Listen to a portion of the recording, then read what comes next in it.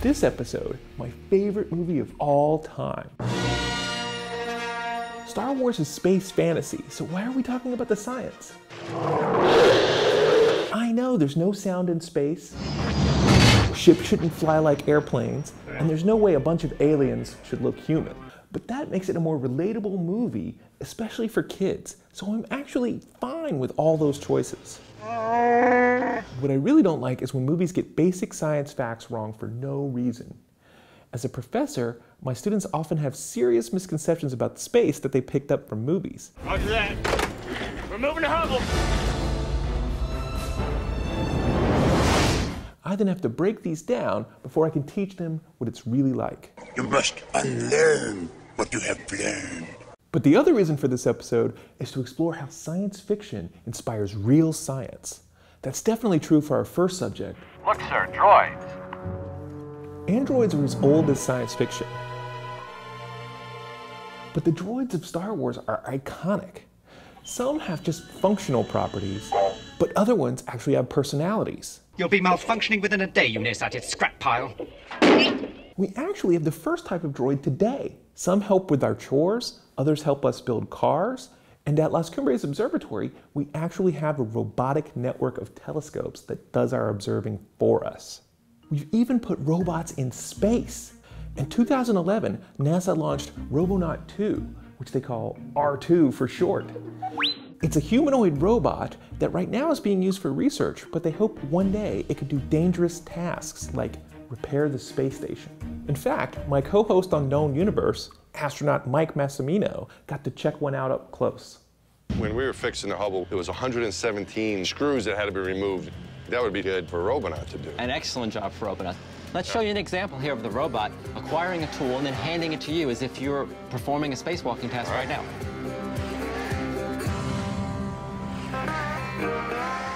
And here it is, coming around. Mm-hmm. There's also a robot you can talk to on the space station named CIMON. CIMON, do a positive yaw by 90 degrees. Wilco, positive yaw by 90 degrees. The Japanese Space Agency have sent robots to the ISS too. One is a tiny little humanoid named Kirobo. Kirobo-kun, genki datta? And the other one is a floating sphere named Intball. Do those hovering robots remind you of anything? The first version of those was called spheres, If you remember from Star Wars, these are very much like uh, the uh, target droid that Luke Skywalker was fighting against as he was trying to master the lightsaber. students made this floating ball that shoots compressed air and it's actually powered by an Android phone. So we really do have droids in space. But when will droids be as smart as people? Gordon Moore, one of the founders of Intel, noticed that processing power doubles every two years or so. So in only a few years, computers should have the same processing power as the human brain. But computational power is only part of the story. We also need software. There have been advances in artificial neural networks that try to make computers think a little bit like the human brain. But we're still a long way from computers that think like people.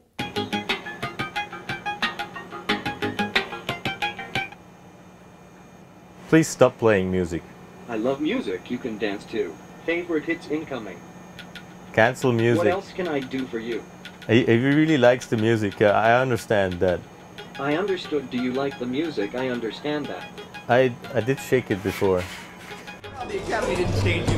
Oh, I must have forgotten. There's a battle going on right here in our system. Not again, forget it! What's up? Can you come back down here and play the game? I think Wormy's caught too much salmon. Tatooine is famous for its twin suns. In fact, binary stars are really common. About a third of star systems actually have more than one star. But can you have a planet in this configuration? Yes.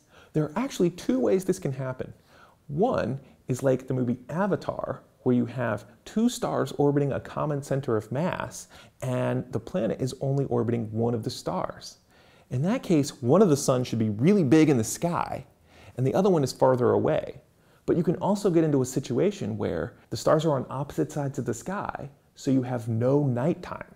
For Tatooine, the two stars orbit each other and the planet is much farther away. That means we can get nighttime, but it also means that the stars should be about the same size and they should rise and set together. In fact, we've got confirmation that this is true because between Revenge of the Sith and A New Hope, it's about 18 years, and we don't suddenly see one star being a lot bigger and closer than the other. Astronomers have even discovered a real life Tatooine. Kepler 16b is a part rock, part gas, Saturn sized planet orbiting a pair of stars found by the Kepler spacecraft.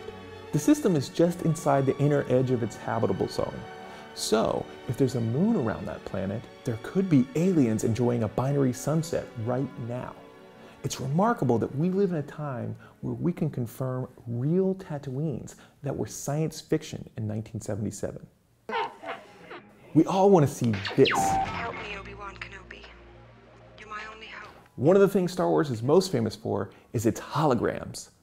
Although technically that's not a hologram, a real hologram is an interference pattern illuminated with a reference beam, the kind of thing you have on your credit card. What we really want is 3D video. One of the closest in recent memory was Tupac performing with Snoop Dogg at Coachella in 2012.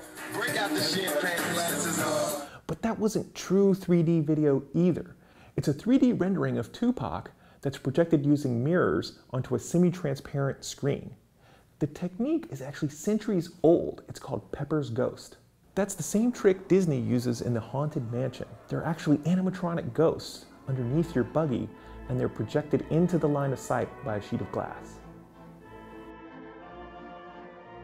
But to get real 3D images, we need to show a different image to each eye. That's hard without glasses, but the Nintendo 3DS did it by putting a barrier just in front of the screen. Maybe the closest people have come are these spinning contraptions that give the illusion of something floating in space. There are also little adapters you can buy for your cell phone that achieve a similar effect. But still, nobody's fully achieved free floating 3D video like we saw in Star Wars. You've never heard of the Millennium Falcon? Should I have? It's a ship that made the Kessel run in less than 12 parsecs. For me, the most frustrating mistake in Star Wars is the parsec. A parsec sounds like a unit of time, but it's actually a unit of distance. A parsec is how far a star would be if its parallax is one arcsecond. An arcsecond is one 3600th of a degree. But what's parallax?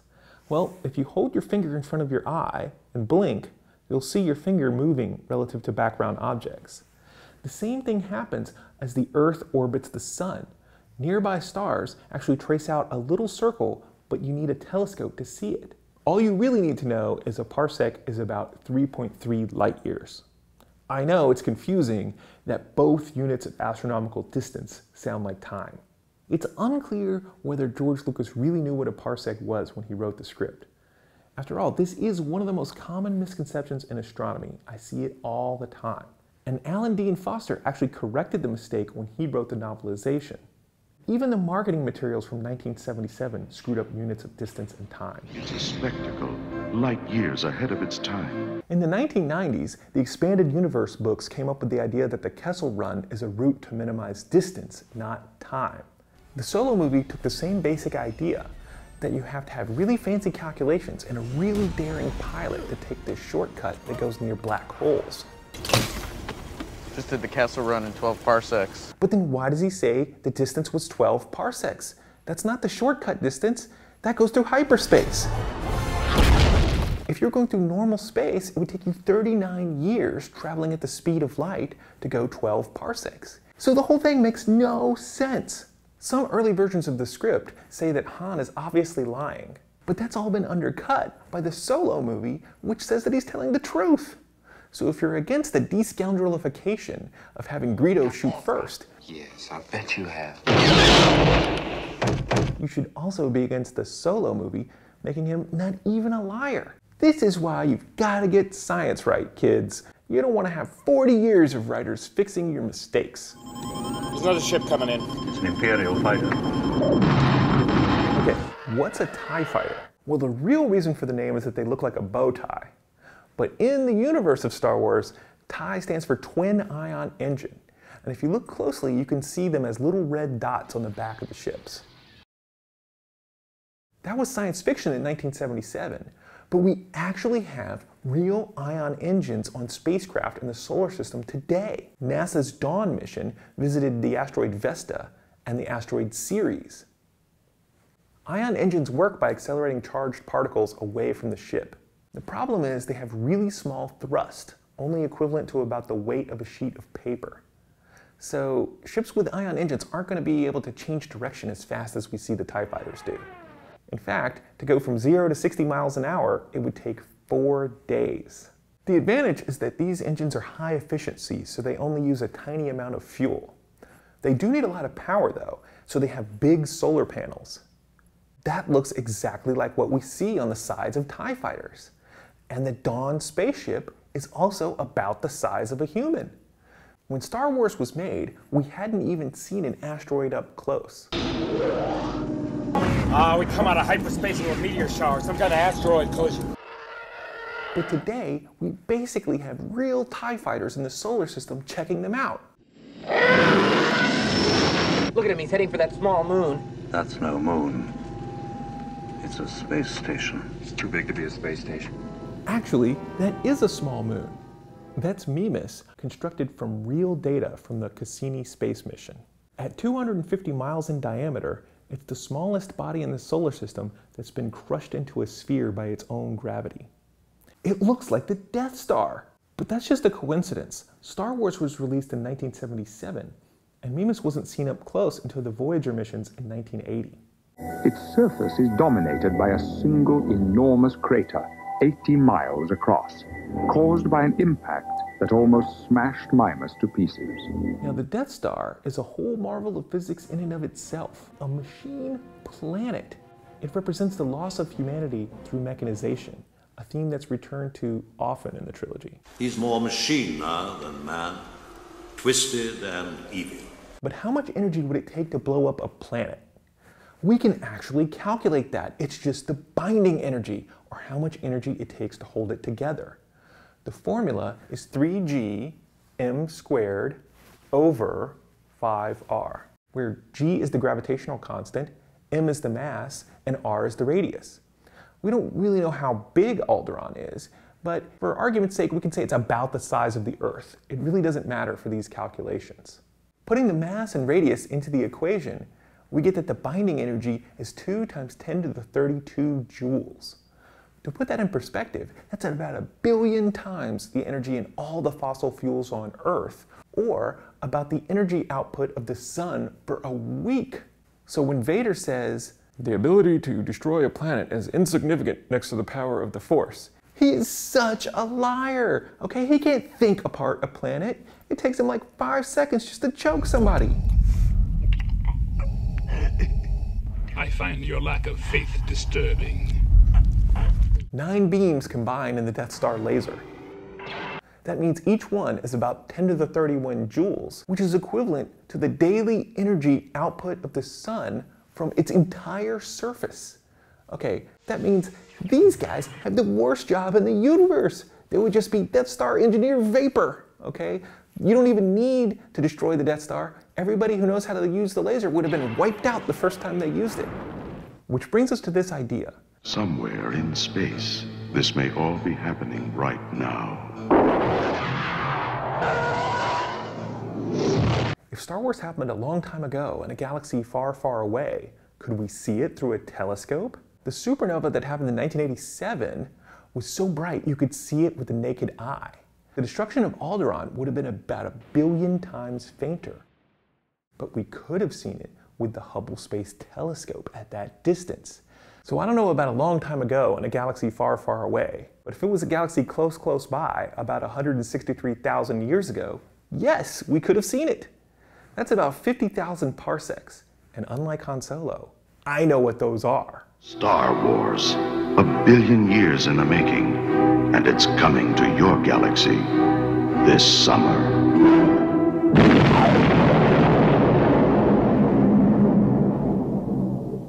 Course, a long time ago is really just telling us that this is a fairy tale. And as fairy tales go, it's the greatest. It gave kids permission to have a fantasy world set in space. I was inspired to be an astronomer by watching Star Wars as a kid. And I've been lucky enough to participate in some pretty incredible discoveries, like the discovery of dark energy, new types of supernova, and even the first kilonova. Long time ago, in a galaxy far, far away, two neutron stars merged together. Now multiply that by millions of engineers, scientists, and artists who've been able to dream beyond what people could have imagined before. So forget a little nitpick here or there. The real legacy of Star Wars may be that it's the most scientifically inspirational movie of all time. There's a reason it takes like eight years to get a doctorate in linguistics. It's actually like really complicated. I had to talk with physicists. I'm like, okay, great. Okay, I see why that makes sense. Why should anyone give a flying? I don't think you'll be able to use this. This is too physics geeky. Yeah, that's the thing I've spent zero time in my life as a linguist thinking about. How do you talk to an alien? Uh, I guess the right answer is careful.